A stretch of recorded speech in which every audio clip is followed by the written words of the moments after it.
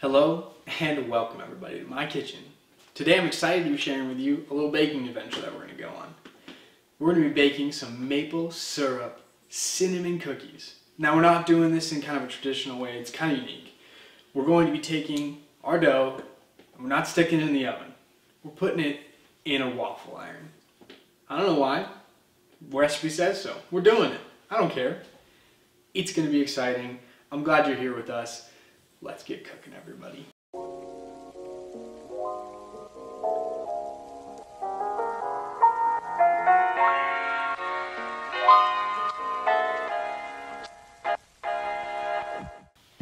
Alright everybody, here are the ingredients that we're going to need today. For the glaze, we're going to need some powdered sugar, some maple syrup, and some salt. For the cookie dough, we're to need butter, eggs, sugar, salt, ground cinnamon, and your choice of all-purpose flour. I'm going with gluten-free. Now, some other odds and ends you're to need, obviously, we're going to need a waffle iron. This is my trusty little guy. Now the first thing this recipe calls for is to cream together the butter and the sugar. We're gonna get to it. It does call for a, a, standing mixer, but the best I've got is this little hand mixer, so we're gonna just make do with what we've got.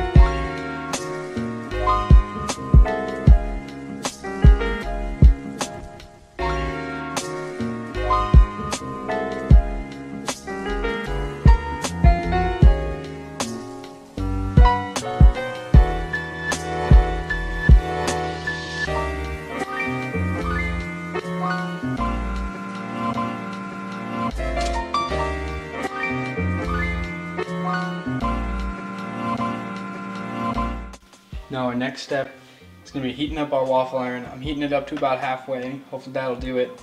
Then we're going to take our batter. We're going to spoon out tablespoon sizes and put it in each of our quadrants here of our waffle iron. We're going to let them sit for two to four minutes. Hop, pop them out, stick them on our cookie sheet over here, let them cool.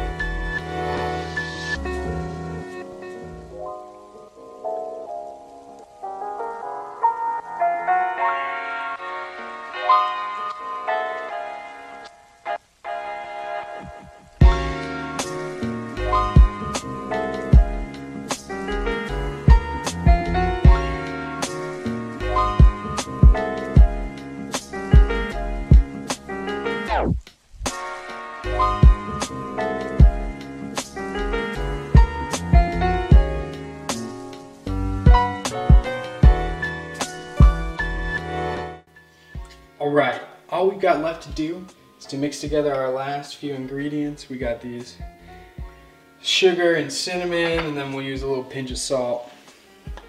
Not too much to go. We're almost there.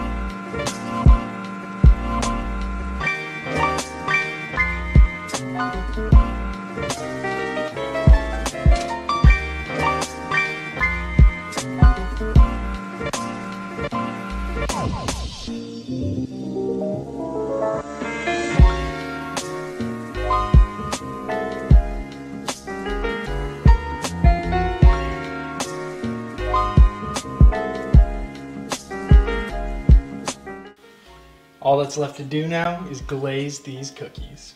Let's get to it.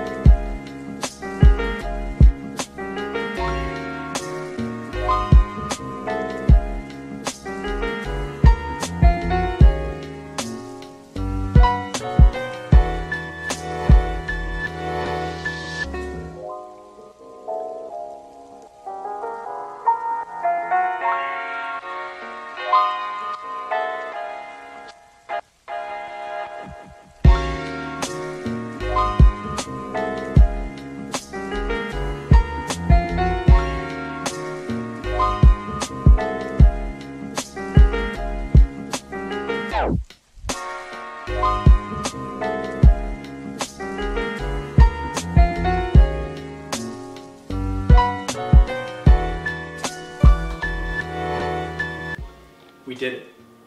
Man, that was a great time.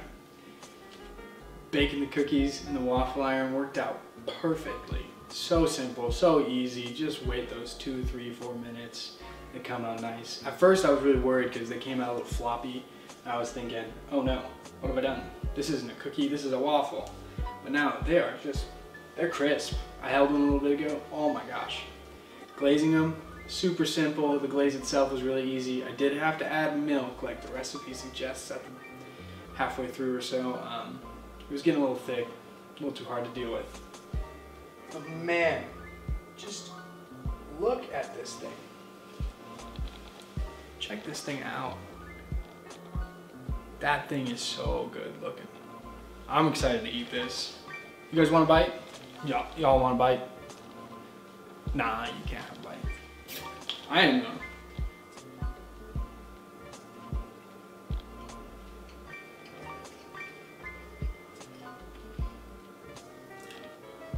That's not right. That is so good. That is so easy. Holy cow. If you're ever in a bind and you need to make a quick, easy cookie for something, I don't know what it is. Whatever it is, this is so good and so simple. Recipe's gonna be linked down below. Holy cow, I'm gonna keep eating these. I hope you guys enjoyed. My mouth's full of food now. Mmm. That was really good. I'm gonna suggest you guys make these things. That was so easy, so good. And I'll catch you all on the flip side. Don't forget to like, subscribe, and comment below what I should make next. Would love to hear your suggestions. Thank you.